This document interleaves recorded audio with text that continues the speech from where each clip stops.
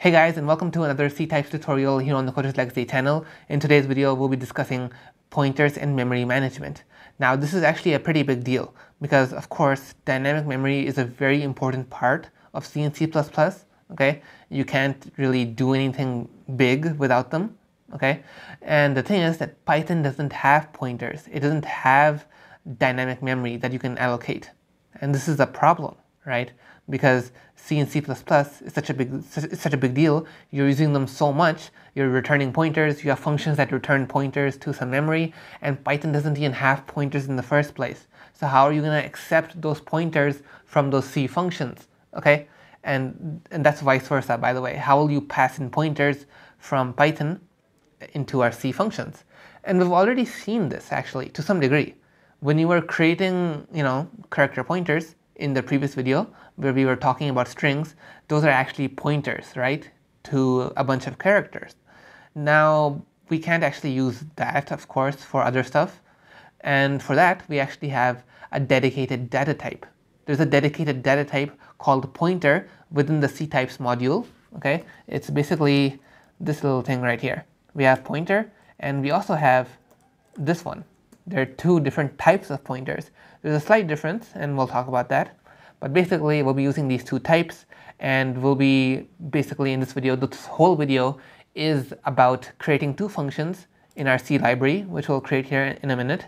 The whole video is basically about allocating some memory in C, returning that memory, or sorry, returning a pointer to that memory into our Python code, mess around with it a bit, you know, maybe print out its value, modify it a bit, or something like that, and then return the memory, return the pointer back to our C program where we deallocate it.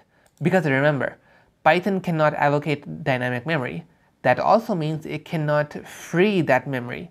So if you just bring that memory over, if you just bring you know the reference, the pointer to that memory into your Python code, but you don't delete it, then you know you'll end up into a memory leak. That's you know a memory problem. You'll have that memory allocated, but no one's going to delete it, so it's going to cause problems. So you need to do this. Python is going to go to C and take the pointer. Okay, it's going to use it. Once it's done, we're going to give it back to C, where C will free that memory. Okay, that's the basic gist of it. Okay, so hopefully you understood that. Now let's talk about, uh, or before that, before that, let's just go ahead and allocate those functions. Okay, let's create these functions in C and then we'll deal with the Python side of things. All right, so the first function is going to be um, this. It's going to return a pointer to a string, a character pointer, basically. And we'll call this alloc memory, allocate memory. And this takes no parameters. And this dynamically allocates some memory. And then we just leave a space in there. And we'll use strdup okay, which is basically a way of you know declaring dynamic data. Uh, you can also use malloc, same thing, really. So if I just do this, hello world, we now have some, some dynamic memory. Okay, now what I'll do is return a pointer. Okay, return this pointer and this will go back into our Python code. And I'll just leave one printf statement in here so that we know this function is being called. Okay, this will be useful later on. Memory allocated and good. Now I'll make another function and this function is going to free our memory. Okay, because remember Python cannot cannot do that. So this will actually take that character string. Okay, this can take this can be any pointer by the way. It can be an integer pointer or whatever. The process is the same, right? So let's just call this pointer instead. Okay, and over here I'll just go free pointer and that's it we're done. That's all it does. That's all you need to do. And I'll just make another printf statement here that says memory deallocated or memory freed, whatever. So that's our functions in C. Okay, now let me just bring up the terminal and hold on. Let me just generate that file again. I have it here somewhere in my history. Yeah, there. Oh, okay. Uh, this is something annoying. I need to do this again. I need to navigate over to my tutorials and C-types folder. I'm now in here. I can now run this command to generate the shared library and enter and done. Okay, now, now we need to actually code things from Python's side. Okay, so let's take a look at how to do that. Alright, so the very first thing I need to do is define these functions. Okay, define these functions within Python. So I'll call the alloc function over here. Okay, the name can be anything by the way. And see library dot alloc, what's the name? Alloc memory, right? Alloc memory. And I just do this, then alloc func, and it doesn't have any arguments, right? So I'm just going to do restype is equal to, what's the restype? What's the return type? It's a pointer. And Python doesn't have pointers, but guess what? C-types does. So I'm going to use this pointer over here, and this accepts a type of character pointer. Because what kind of pointer do we want? We want a character pointer. Okay, so that's why we're using this format. Okay, otherwise you could type in integer in here, Okay, you could type integer in here, you could type float or whatever, and that'll give you a pointer to it. So if I come down here and now define the other one, free func, c library dot free memory, then it just had a single argument type. So what's that argument type? It's a ctypes pointer. Okay, c-types dot c car pointer. Great. Now I can use these two functions now. I can use the alloc function and the free function. Now what I'll do is c string pointer is equal to alloc func. And now we just allocated some memory. And if I want to print out the value, okay, let's just do something simple. Okay, let's just print out the value of that string okay what's the value of the string hello world okay now we need to actually convert this into a proper format first okay? Uh, we need to we're you know bringing a pointer in from C. We need to do some conversion stuff first. So what we're basically going to do is C string is equal to C types dot C car pointer and then we'll do from buffer. From buffer basically returns uh, appropriate C types data type, okay? Because right now it's not really a seed, it's not really a proper type, okay? I'll show you that in, in a minute actually. So if I just do this, okay, this will give us the object that we need. Now just watch. If I try to actually print this out, what do we get? I assure you it's not going to be something that we recognize. If I print this out, we get this. Okay, now that's a LP, LP underscore ctrp object. I'm not sure what the LP stands for, but it's not really your regular C types object, okay? And point in case, okay? Let, let me show you this. C types objects, they have a dot value attribute, right? The dot value attribute which returns a Python version of that object. So if it's a C int, okay, if you do C int object dot value, it'll give you a Python integer in return. Okay, it, it, that's something important to remember. So if I do this, it's going to say it doesn't have it. Okay, that makes sense. But if I do this on this, the C string, it's to work. You can see it's even giving me that suggestion. Because the reason why this is to work because we've used this. The from buffer function returns a C types object. Okay, so if I do this, watch. It's to print out hello world. Oh, and let me just fix that a bit. I should put some new lines in there. Oh, wait, not there, not there. It should be in here. Okay, and good. So if I come here now, and I need to recompile that actually now.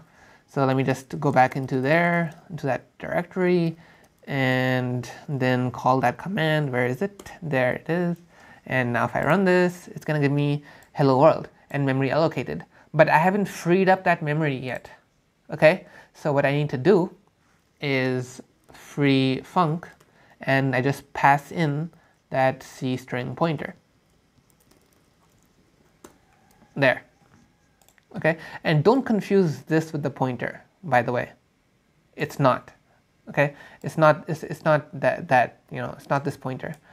So that's why I don't accidentally you know pass in C string into this. Okay, you need to pass in the C string pointer because that's what's actually pointing to that memory location. So if I do this, memory allocated, we printed it out, and memory deallocated. And now we can do whatever we want over here, change its value, do whatever.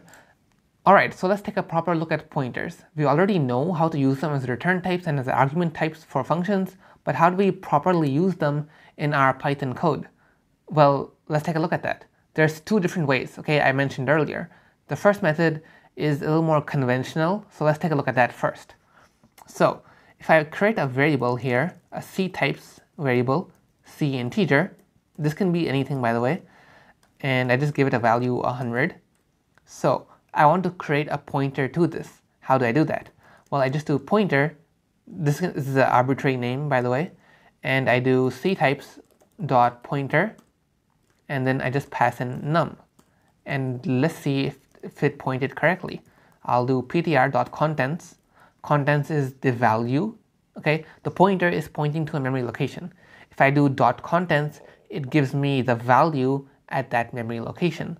So if all was you know well and good, this should give me 100. It should print out 100. And there we go. It printed out that value. Okay, good enough. Now, what we want to do is basically take a look at the other method. Okay, and what's different? What's different? Why are there two ways of creating pointers? Okay, oh, and one last thing. I just want to mention that don't try doing this okay? Because if you do that, then you get this, okay? Because I don't know why exactly, but you cannot create a pointer to a regular Python object, okay? So you may want to keep this in mind. I guess it's because Python doesn't really have the concept of pointers, so you need to use the data types in C, which is another good reason why you should be using you know, C data types, okay? Which is something I discussed in the video for uh, data types in C, in C types. All right, so let's take a look at the other type now. Let me just bring this back. Okay, now I'm going to create a second pointer called pointer2, and this is done like this.